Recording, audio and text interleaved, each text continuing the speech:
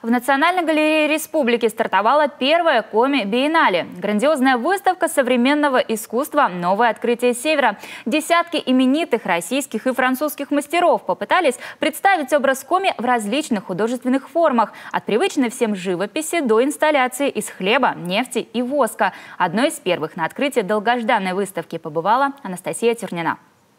Живопись, фотография, скульптура, видеоарт, прикладное искусство, аудио и видеоинсталляции. Столь многообразным образ коми современный зритель видит, пожалуй, впервые.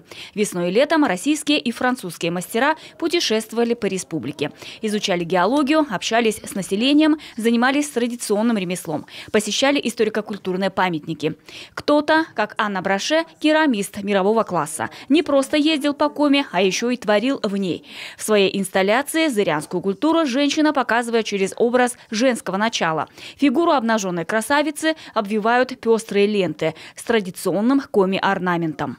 Это уже керамика из вашей местной глины, с Выльгарской, сделана в Заране, центр ремесла Зарань. Представляете? То есть продакшн весь там.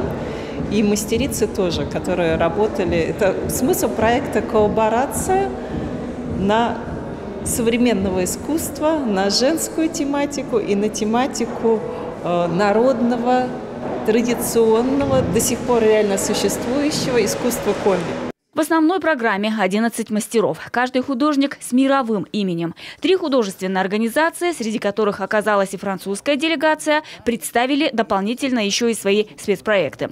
Зал с инсталляциями открыты как на первом, так и на втором этажах галереи.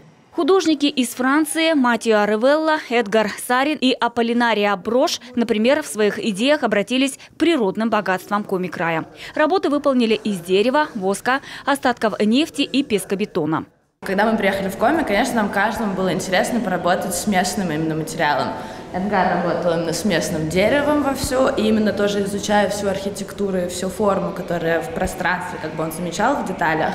Что больше всего поразило, это сама интеграция. То есть на самом деле какого-то одного детали нету, потому что мы через людей, через пейзажи, в которых мы существовали все это время во время процесса работы, и это было как раз самое потрясающее. То есть не было одной детали, это была общая картина, как бы общее путешествие. Знакомство с экспозицией можно начинать с любой точки галереи. Все проекты самостоятельны. В основе каждого единая для всех идея – художественное открытие коми-края. Еще на улице посетителей встречает необычная кукла Ивана Горшкова – интинский метеорит. Расположена конструкция на нартах.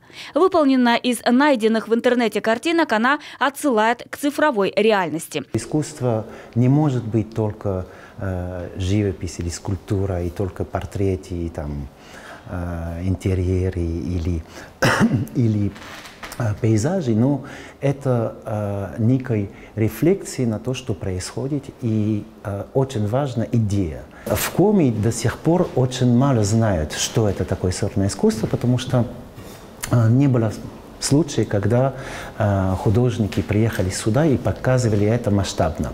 Президент Нацгалереи подчеркивает, биеннале для Коми – это прежде всего некий художественный вызов. Впервые самобытность и культура Северного края переданы через призму современного искусства. И эта экспозиция, уверен Пьер Браше, однозначно заложит основы для его развития в нашем регионе и дальше. А вот наслаждаться первыми такими работами можно еще довольно долго. Выставка нового открытия Севера работает до 10 октября. Анастасия Тюрина, Евгения Кладкевич, Олег Костромин, телеканал Юрган Сыктывкар.